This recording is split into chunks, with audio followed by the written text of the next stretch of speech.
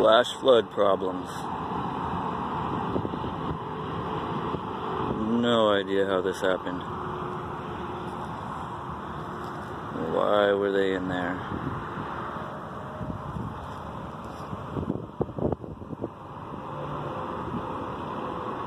Really hope nobody's in that. The flood came pretty quick. Don't know that anybody knows it's here. But here it is.